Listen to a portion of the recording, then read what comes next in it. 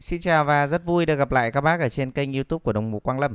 Trong video của ngày hôm nay thì em sẽ về trên tay với các bác một chiếc đồng hồ của thương hiệu orange Hôm nay em có về một con orange Sun and Moon Gen 5 nhé.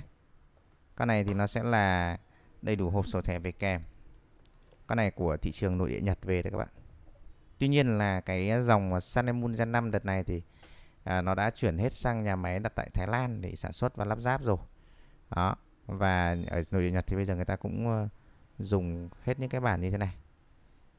Đó giảm tải mức cái chi phí và tăng tính cạnh tranh. Như con này thì đang có cái mã là RNAK 0301S và giá niêm yết của nó là 50.600 yên.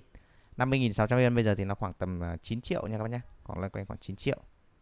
Đó đây em có một chiếc hàng mới bản của nhà máy uh, Seco Epson Thái Lan sản xuất con này đặt tại Thái Lan đó, và họ cũng làm rất rõ ràng họ triển luôn trên củ văng và triển lên trên cái phần uh, nắp đáy này các cái thông số ờ, sản xuất lắp ráp ở đâu. Đó. và làm cho thị trường nội địa Nhật các bác nhé. Đây bán tại Nhật này toàn bằng tiếng Nhật thôi. Cứ tự động. Con này thì sẽ có cái mã là RNAK0301S là cái mã tại thị trường nội địa Nhật cho chiếc này. Đường kính em đo được ở đây nó khoảng tầm 41,7 ờ, dày của nó là 13,2 và lắc tu lắc là 48,4 nó sẽ dành cho những anh em có cổ tay vừa và cổ tay nó hơi to một tí. Như chiếc này thì anh em nên có cổ tay khoảng tầm 15 16 khoảng tầm 16 đấy. 16 trở lên thì chúng ta đeo con à, Gen 5 này mới vừa và đẹp được. Mặt số của nó màu bạc và bộ kim cọc của chiếc này thì được mạ PVD màu vàng hồng. Đó sẽ có khá là nhiều các cái ô lịch ở trên này.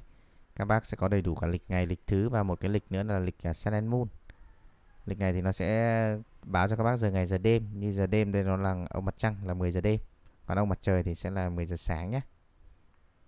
Đó. khi các bác đây 12 giờ đêm thì toàn bộ là ông mặt trăng và nhảy ngày này. Đó, nhảy thứ này. Thứ là 4 giờ mới nhảy xong. Đó, và ông mặt trời nhô lên 10 giờ sáng. Kim cọc của nó thì mạng PVD màu vàng hồng rồi. Bắt sáng cũng khá là tốt. Dòng này thì độ hoàn thiện nó cũng tương đối rồi để các bác dùng. Và kính con này được trang bị nó là kính sapphire. Kính sapphire rồi các bác nhé. Đằng bên hông thì sẽ có núm chỉnh giờ có logo hai chú sư tử của Oren. Đằng sau thì sẽ có đầu tiên là Made in Thái Lan này, chúng ta sẽ có là máy F6B2 Water Resistant 53 chống nước con này là 50 mét nước thì các bác có thể đi tắm giặt, đi mưa rửa tay thoải mái được với chiếc này. Thân thép không dỉ và kính sapphire Máy F6B2 thì nó sẽ có tổng tất cả là 22 chân kính, 21.600 tần số dao động và con này của em là khoảng tầm 40 giờ tích cót tối đa. À, có đầy đủ là hỗ trợ cót tay và có cả dừng kim dây khi mà chúng ta rút núm chỉnh giờ. Đi kèm với chiếc này các bác sẽ có một bộ dây thép đúc đặc. Dây thép đúc đặc đầu trên này nó là cỡ 20, 22. Dưới khóa là 20, dây 20 nếu như các bác muốn sang dây da. Và em sẽ ướm thử ở trên cổ tay 17. Chiếc Oren này nó sẽ hợp cho những anh anh em nào mà tay khoảng tầm 16 trở lên. 16 trở lên là đeo sẽ rất đẹp. Kính sapphire chống nước 50m, cơ tự động, có cả hỗ trợ con tay, có cả lịch ngày, lịch thứ.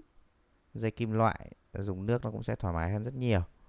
Đó, còn nếu sang mùa đông thì các bác có thể chơi thêm một bộ dây da đeo cho nó đỡ lạnh tay thì con này cũng rất là lịch sự.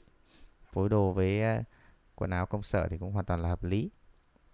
Và đây nó là một chiếc hàng chưa qua sử dụng à, con này thì à, vừa mới về cho nên em cũng chưa kịp lên giá nhưng mà áng áng giá nó loanh quanh khoảng tầm à, loanh quanh khoảng 5 triệu ba nhé các bác nhé. Nó cứ tầm loanh quanh khoảng đấy. À, các bác nào à, mà yêu thích chiếc này thì có thể đặt hàng ngay trực tiếp ở website đồng hồ quan com. Thì lên à, check web cái mã 8303 này có thể check được giá luôn. À, và đặt hàng tại website hoặc là alo cho bên em theo các đầu số hotline như là 0834 này 696699 hoặc là qua địa chỉ 23 Nguyễn Công Hoan Ngọc Khánh Ba Đình Hà Nội để lên tay trực tiếp. À, Đầu Quang Lâm xin được chân thành cảm ơn các bác đã quan tâm theo dõi video về chiếc Sunny Moon Gen 5 này và xin chào và hẹn gặp lại ở những video tiếp theo.